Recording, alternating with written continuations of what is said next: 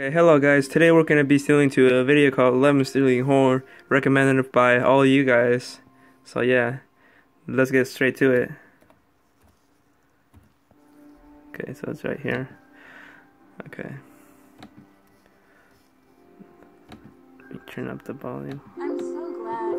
I'm so glad that our lemon tree finally grew Me too. and sprouted fruitful lemony lemons.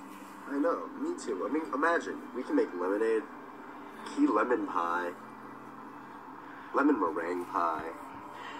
I think it's the most valuable. So I heard this is in the uh, the intro to a porno. do agree. I think we should go to the bank. I don't know about that. Loan. Actually, I think we should just get lemon tree insurance, I think you're right. and then get a loan and use the lemon tree. as Damn, that's a allowance. whore right there. It's now insured.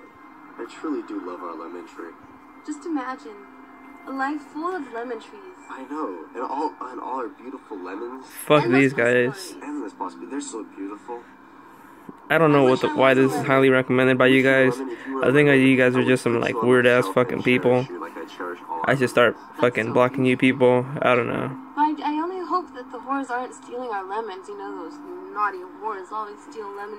We do have a couple lemon whores in this in this community. Those damn lemon stealing whores. Because not, no one will take our prize lemons. For, Yeah, I, s- I don't- I don't. I Hey, don't know what's has it been point of about this 10 seconds since we looked at our lemon tree? it has been about ten seconds till we looked at our lemon tree. hey! Hey, what the fuck? It's a. Huh? I guess I guess it was a whore. I don't.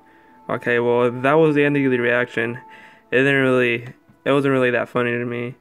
I don't know. I guess you guys are just some really fucked up I'm ass people sweating. or something. So yeah.